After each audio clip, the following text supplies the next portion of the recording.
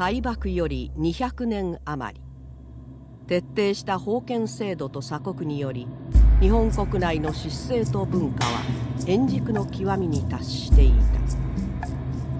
た。されど諸行は無常。変わりゆくのが世の常である。産業革命を経て帝国主義化した欧米諸国は開国を求め日本に押し寄せた。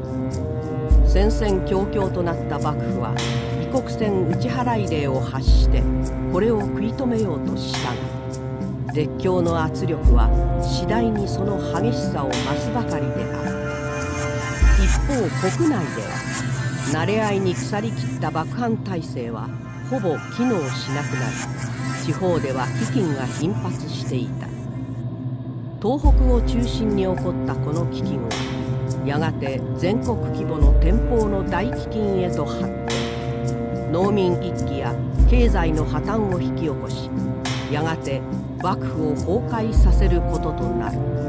そんな時代その東北地方をねじろとして銀ガラスなる盗賊団が活躍していた。金持ちから金品を奪い貧しい民に分け与える義賊だとの評判であった。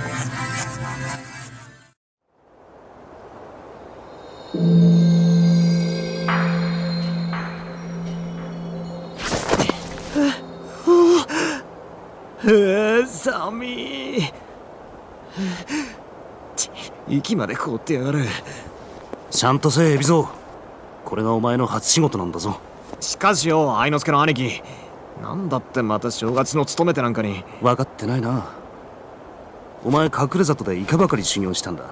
かれこれ1年。ならば分かるはずだ。手薄なところを狙うのは盗みの鉄則。正月の勤めてなら奉公人は出払っているだろうし家人も酒を食らって寝ているだろう。なるほど。別部隊のカラスの合図で突入だ。気を引き締めろ。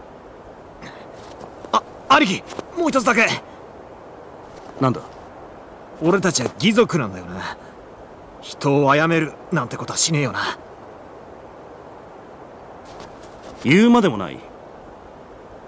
銀ガラスの門は天狗の羽その門を背負って悪さなぞできるか。そうか。それを聞いて安心したぜ。何しろ俺は。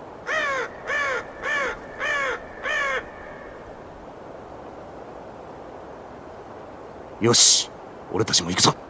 合点だ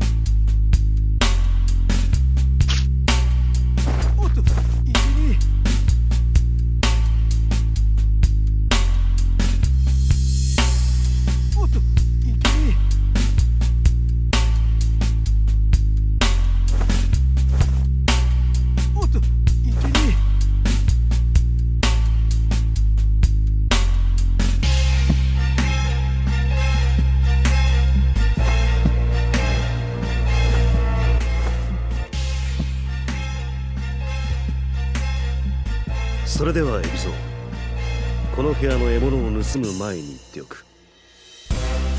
まだ腕前が上がっていないと盗むまでに手間取る獲物もあるが連続技で根気よく挑めばいずれ盗み取ることは可能だ。高い位置にある獲物は飛び上がり盗み取れ。飛んでも届かない位置にあるようなら風呂敷を下ろし蹴り当てて地面に落としてから盗み取るんだ。蹴りは力をためたり狙いを定めることが可能だ。下ろした風呂敷は引き寄せたり背負ったりすることができる。それともう一つ風呂敷を近くに置いておかないとどれだけ盗み取ろうとしても全くの無駄骨に終わるからな。海老蔵獲物を盗んでいる姿を人に見られるな人に見られていれば焦りが生まれ盗んだ獲物は傷物になってしまう。無論獲物の価値もその分少ない。では海老蔵この部屋の獲物お前の力で根こそぎ盗んでみろ。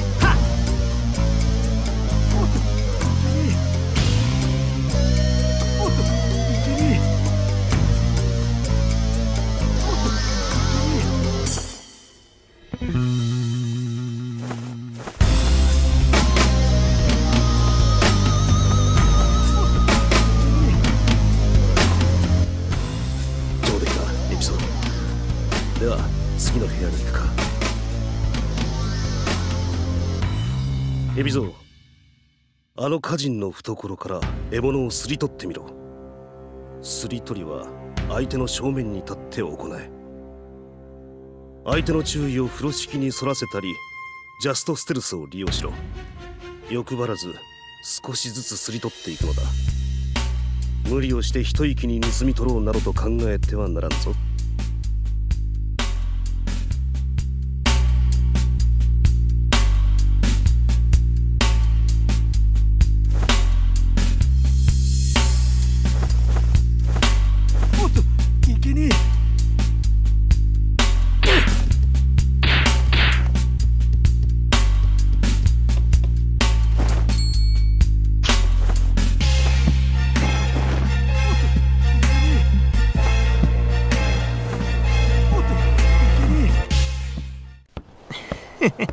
初仕事にしちゃ我ながら上々の守備だぜ。な。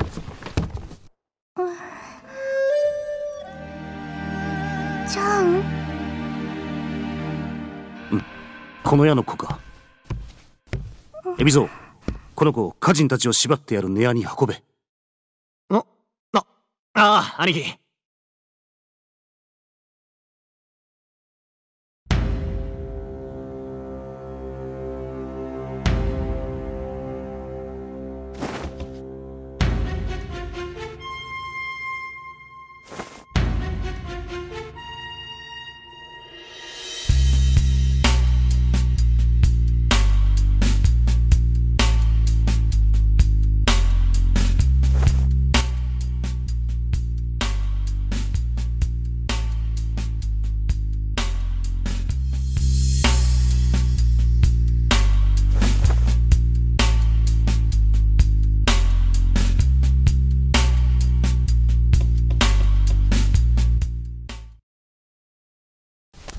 お願いします。お助けください。お願いいたします。命だけは。どうかお願いします。命だけはお助けください。どうかどうかお願いします。お願いします。お助けください。お願いします。蔵にあるものは全てお持ちいただいて結構です。ですがどうかどうか命だけはお助けを。命だけは。ならぬな。死ね殺し。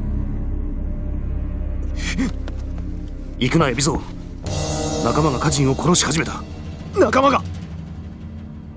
どうして？わからぬネアはすでに血の海だ。このままではその娘も。くそ俺たちは貴族だったんじゃねえのか！おっちゃん誰？わらしの声がまだ誰かおるようだ。その子を連れて逃げろ。あとは俺が何とかする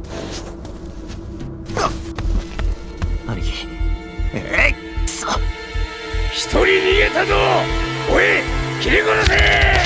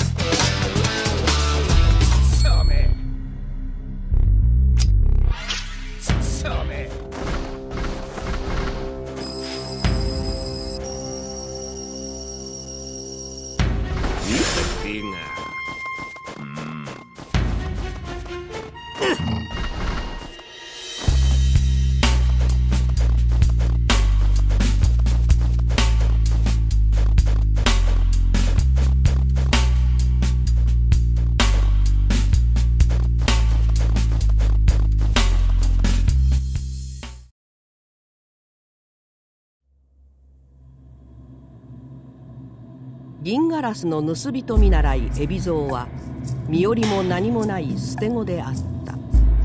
世の真紅をなめ尽くしてきた海老蔵は固く心に思うのだった。この子を不幸にしちゃいけね泣く子を抱え逃れ逃れて数十年。とある城下の港町へとたどり着いた。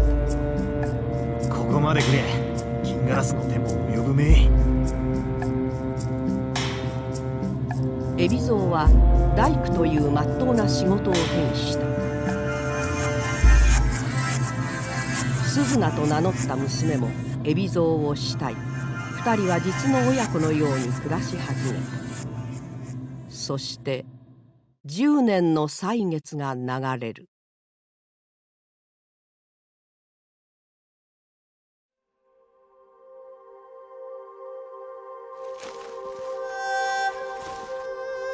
おとっつぁんお弁当。おうすまんな鈴名ここへ置いとくね。昨日から調子が良くないようだが。へっちゃらよこれくらい。細工物を作らないと。小間物問屋の旦那に仕事を頼まれたのか？うん。鈴名の細工は上下一だって。そうかい。頑張れよ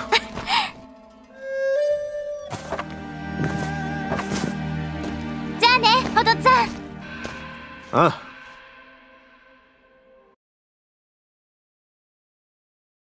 スズナ、今帰ったぞ。スズナ。ど、どうした？お父っつぁん。なんて熱だ。待ってろ、スズナ。すぐ医者を呼んでくるからな。医者は医者いないかお父っつぁ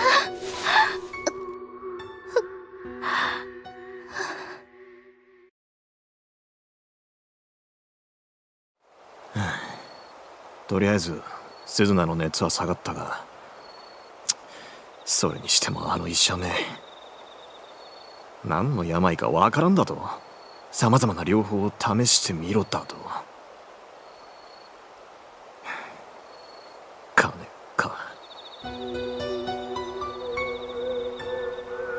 盗みの道具はしまってあるが。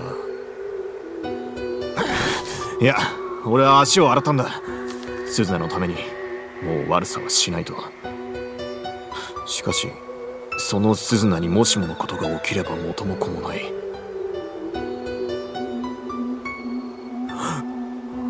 いやいやって縁起でもないこと考えてる場合か。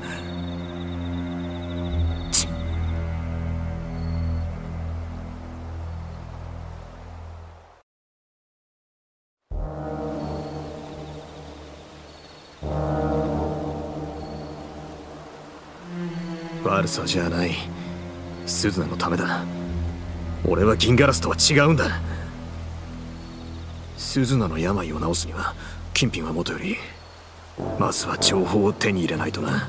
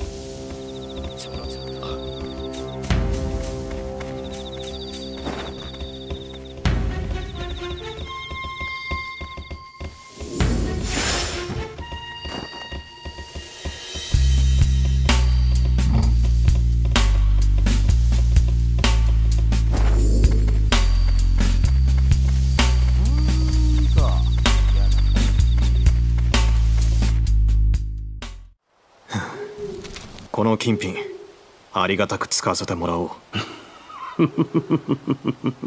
しまった。取り方が。修行した腕はまだ鈍っちゃいないようだな。この声まさか。嬉しいな。覚えていてくれたかいかにも銀ガラスの愛之助だ。やはり。だがその面はどうしたんだ？これはゆえあってのこと俺は俺で亡くなったのだ。兄貴が兄貴じゃない。銀ガラスを抜けたのか。今や奴らはただの盗賊団だ。貧しい者から奪い殺しもする。ち義族だと信じちゃいたんだが。海老蔵俺と組まぬか。義族として働く気はないか。俺と兄貴が。城はお家騒動でお取り潰しになった後廃墟も同然次の城主も決まらんとか。城下ではお上の目が届かぬ武家や商家が貧乏人を食い物にしている。確かに貧乏人の俺たちでは薬一服買えやしない。ならば海老蔵俺たちがこの町を正すのだ。義族であるなら よくぞ言った。では明日より早速愛蔵団の活動開始だ。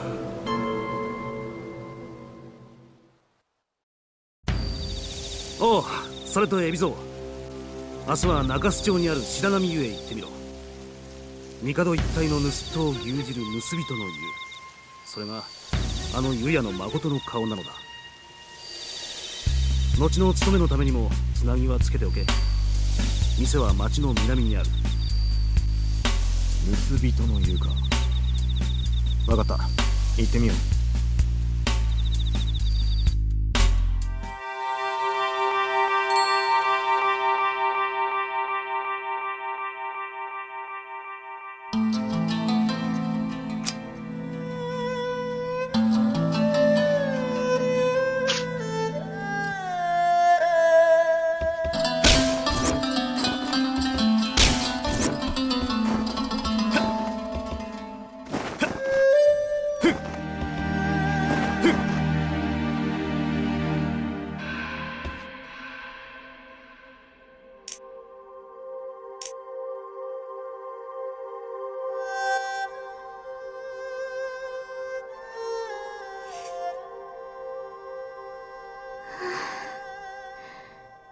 りがとうお父っつぁん。